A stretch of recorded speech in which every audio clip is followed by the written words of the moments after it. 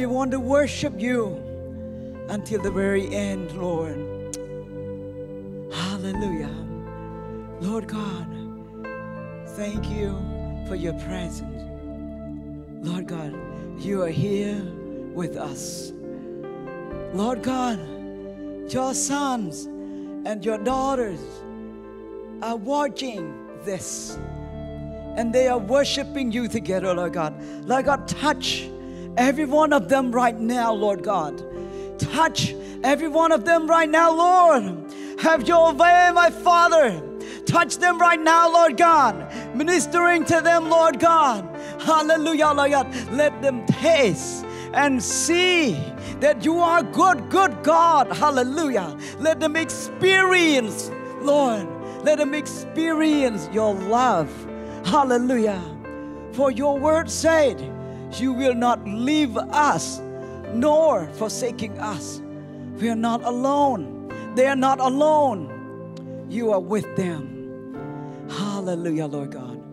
Thank you, Father, for this wonderful afternoon, Lord God.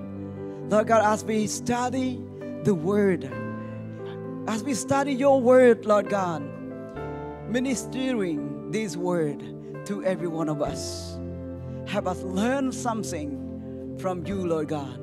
Lord God, we want to be grateful. We want to thankful to you in Jesus' mighty name. Hallelujah. Thank you so much, worship team. You may take a rest. And uh, yes, how many people are excited even though we are worshiping God online? You know, our God is so wonderful. Our God is so good. Even though the world pandemic tell us cannot do this, cannot do that. But I believe you are sons and daughters that love Jesus. Always find a way to worship God, right? I believe that. I believe that. Today is our last um, series that was talking about love. And uh, I privilege to uh, preach this session. You have experienced a great sermon by Pastor Jason. He did wonderful. And this time is my chance. So the sermon, the sermon topic is love never fails. I'm going to read from 1 Corinthians chapter 13 verse 4 to 8. Love suffers long and is kind. Love does not envy. Love does not parade itself. It's not puffed up. Does not behave rudely. Does not seek its own. It's not provoked. Thinks no evil. Does not rejoice in iniquity, but rejoice in the truth.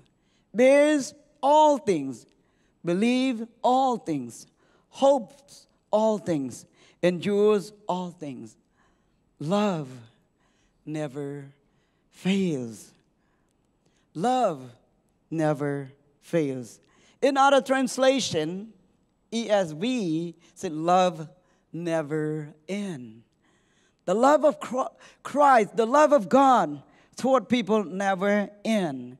New King James said, Love never fails. New Living Translation said, Love will last forever. Amplified said, Love never fails. It's never fate nor ends. This translation are great. The Word of God are powerful because the Word of God carry the power of God. Let me explain to you a little bit, share with you a little bit. Maybe some of you already known about love in Greek, but if some of you that never know about this yet, let me share with you about love in Greek. Love in Greek have many forms of love. One, love is agape love. it means the love of God toward his people. He loves his good, people love his good God. Agape is the love of God toward the people. Another form of love, according to Greek, is eros. Eros love means it's a sexual love. And another form of love in Greek called phileo. It's affection or friendship love. Friendship love. And another one form of love called storge. It's affection and especially affection, the love of the parents toward their children. Another one, form of love, philotia.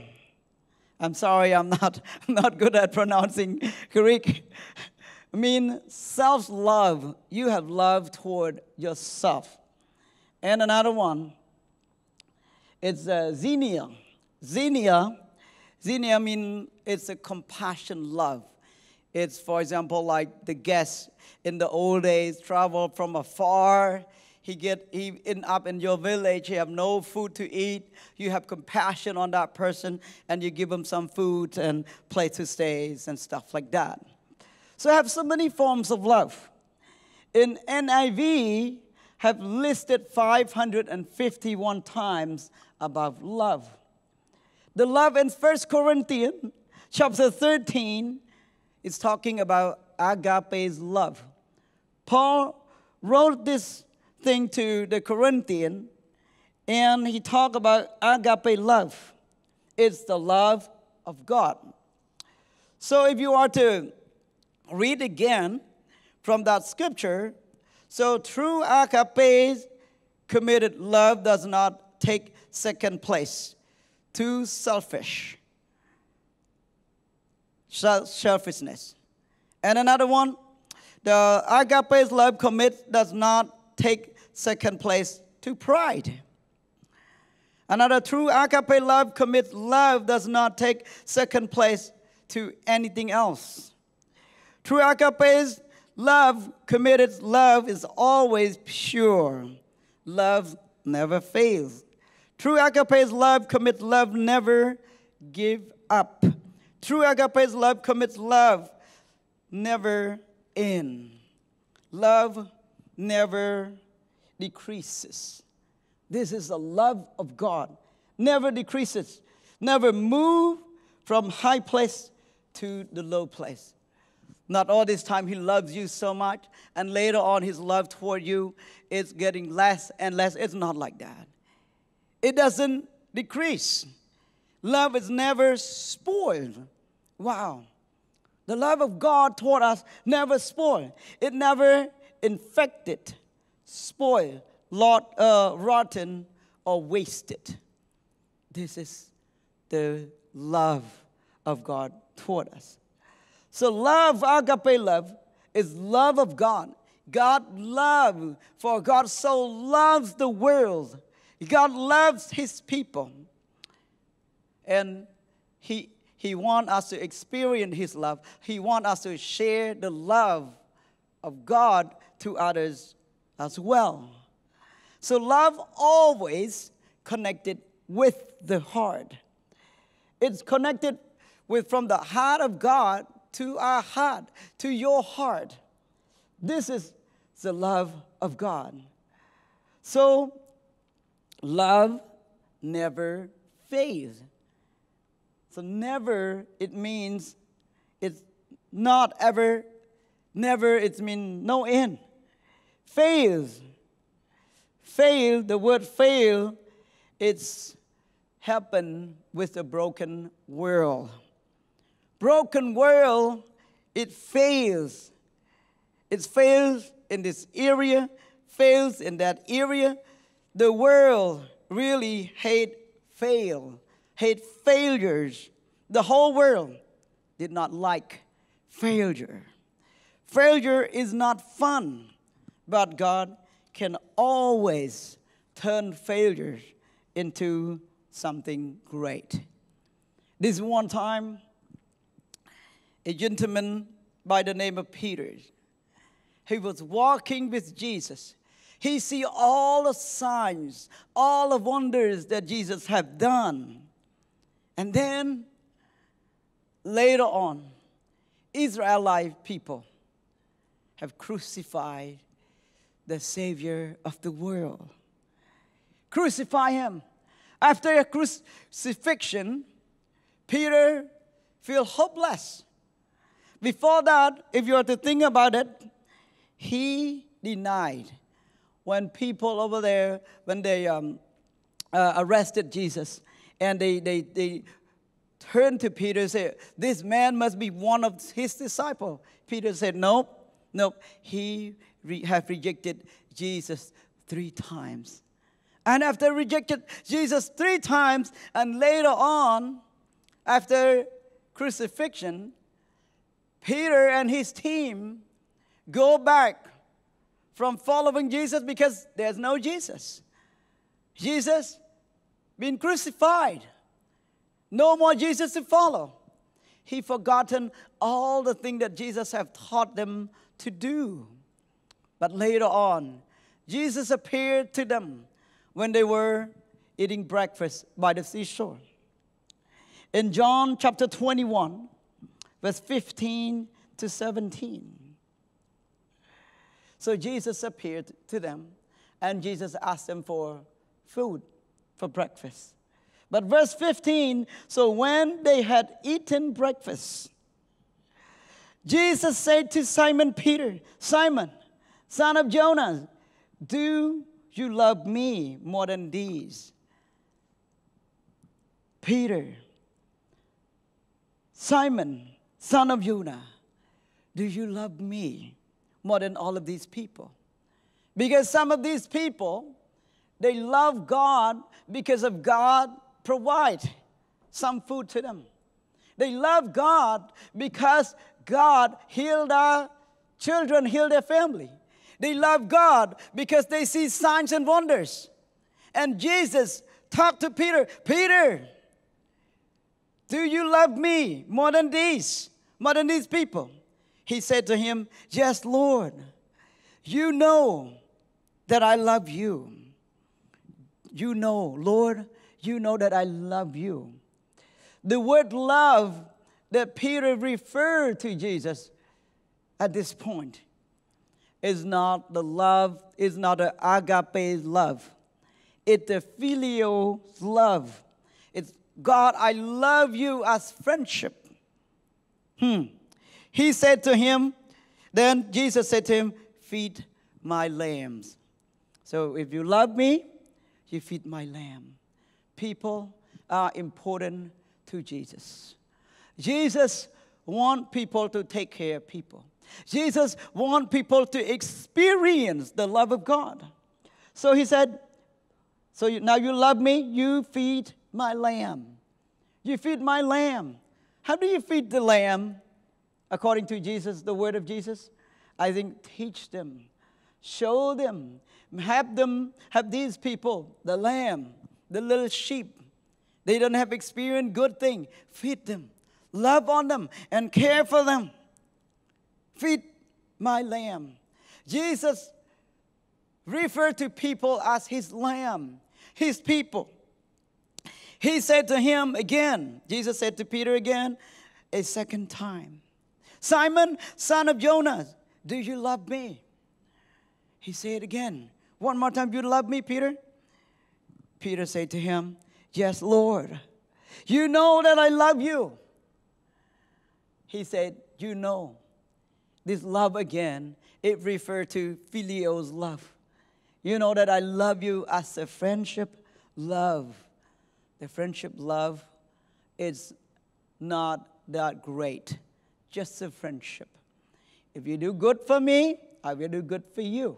If you treat me nice, I treat you nice as well. This is a friendship love. And so, yes, I love you. And he said, to him, Jesus said to Peter, Tend my sheep. Tend my sheep. Look after my sheep. Care for my sheep. He said to him the third time. Jesus said to Peter the third time, Simon, son of Jonas, do you love me? Do you agape me? So, you love me, agape me, like I love you, uh, like I agape you.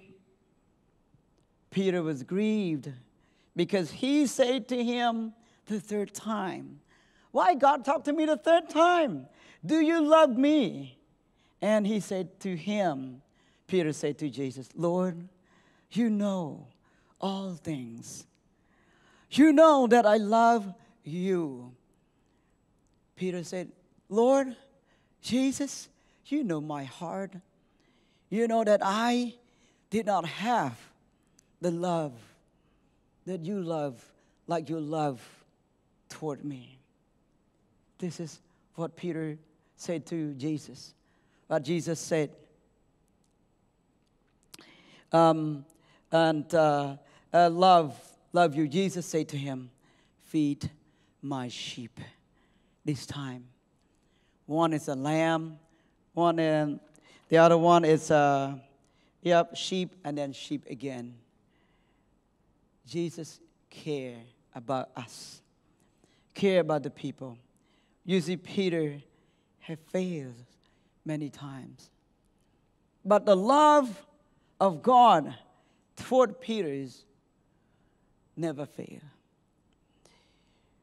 Another time in the scripture, Israelites, they are people that experience the love of Christ. They experience the miracle of Christ. They heard, they seen it with their own eyes, with their own ear. But later on, in Luke chapter 23, verse 34, I mean, before that, they crucified Jesus. But Jesus about to die, hanging on that cross. In Luke chapter 23, verse 34, Jesus said, He prayed to the Father, Father, forgive them, for they do not know what they do. Father, I really love these people. Even though these people harmed me, even though these people hurt me, even though these people killed me, but I love them. Father, don't do any harm toward these people. Don't do any harm toward these people because I love them dearly. This is the love of Christ toward us, toward the people. Even though we fail, our love toward Him fails. But Jesus never failed. His love toward us never failed. Father, don't do any bad thing toward these people. Forgive them, Father. Forgive them for they do not know what they're doing. Father. And they, and later on, they divided his garments, his clothes. He cast lots. He just divided. Can you imagine? Crucify and take the clothes and make him naked. Shamed him in front of the crowd. But Jesus' love toward these people never fail. Love begin with God. For God is love. In John chapter 4, verse 7 to 8, Beloved, let us love one another. For love is of God. And everyone who loves is born of God and know and knows God. Love is of God. And anyone who loves is born of God and knows God. The agape's love is born of God. The agape's love is connected to the hearts of God. When your heart connected with the heart of God, your heart will experience the real love. The whole world looking for love looking for love anywhere, everywhere. But if their heart is not, did not connected with the heart of God, they will not experience the real love. The real love. Because the real love comes from God. Anyone who loves is born of God and knows God. Verse 8 He who does not love does not know God, for God is love. Ladies and gentlemen, for God is love. We might experience love from people, from families, from friends, experience compassion, loves, and all that. But the one love that we can't miss is the agape love. It's the love of God. Because this love never fails. Never fails. During the time that Jesus walked the earth, Jesus never stays still. Jesus walked from village to village, city to city, because he loved us before we love him. He have loves us. He cares for us. He cares because he don't want us to be lost. He don't want the world. He don't want people in the world to go to hell. But Jesus want to restore the people, the relationship that he want to have with people because he want to forgive. He forgive all of these people. But these people did some of them did accept his gifts, others did not. So he walked the earth and loved on people and proclaims good news. Proclaim the kingdom of God. The kingdom of God is near. You need to experience the kingdom of God. You need to experience the real love of God. You need to experience the touch from the heart of God. This is God. And after that, Jesus, after Jesus go to heaven, Jesus has his disciple.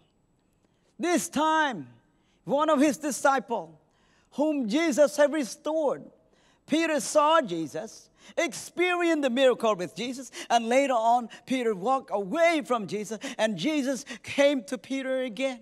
And Peter have experienced the love of Christ again. The heart of Peter have connected with the heart of God again. Peter start to have the heart of God. Therefore, Peter have the heart of God, and so therefore Peter want to share the heart of God with the people around him as well. In Acts chapter 2, the Peter that failed, the Peter that um, wimp. It turned out to be Peter that is brave. Peter talk in front of people. Act chapter 2, verse 36 to 41. Let all the house of Israel therefore know for the certain that God have made him both Lord and Christ. This Jesus whom you crucified. Now, when they were heard this, they were cut to the heart and said to Peter and the rest of the apostles, Brother, what shall we do? And Peter said to them, Repent and be baptized, every one of you, in the name of Jesus Christ, for the forgiveness, for the forgiveness of your sin. And you will receive the gift of the Holy Spirit. Verse 39 For the promise is for you. There's a promise for you. If you're not connected with the love of Christ, if you're connected with the love of God, the promise can't be granted. You can't take that promise. A promise is you, it's yours. You will receive the gifts of the Holy Spirit, for the promise is for you and for your children and for all who are far off. This gift is for you, for your children, and for the people even to deliver far. Everyone whom the Lord our God calls to himself. And with many other words, he bore witness and continues to exhort them, saying, Save yourselves from this crooked generation. Verse 41 So those who received his word were baptized, and there were added That day, about 3,000 souls.